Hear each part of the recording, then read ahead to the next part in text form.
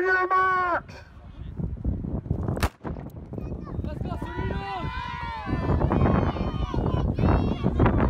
You know what that sound means. It's meet day for the UNLV women's cross country team at Craig Ranch Regional Park. The Rebels host the UNLV Invitational as it's the only home meet of the season.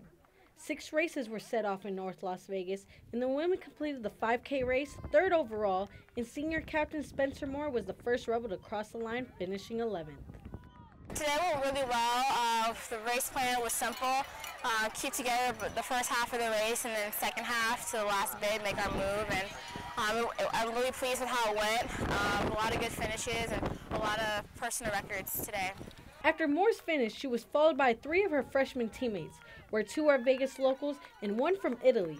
UNLV ran past Pac 12 powerhouse USC Trojans and Mountain West rivals San Diego State Aztecs. Team wise, with the two freshmen finishing up, that shows a lot of uh, great potential for our future. Um, and that was uh, what Lindy, uh, no, that was uh, Skylar Free and Emma Wallermeyer, two local Las Vegas talents, and that, that goes to show there's a lot of talent here in Las Vegas. Um, and I try to recruit them and get them come out here, and they're, they're just tough as nails.